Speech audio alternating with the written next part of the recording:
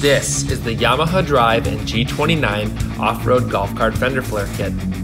Designed to give your cart a tough and aggressive look. More importantly, these flares keep mud, rain, and debris off your passengers after installing wider, lifted tires on your cart. The flares are made of heavy-duty, high-quality plastic and easily bolt up to the side of your golf cart's body using the included stainless steel hardware kit. Once installed, the fender flares should help prevent sling up on any tires up to 11 inches wide that you put on your cart.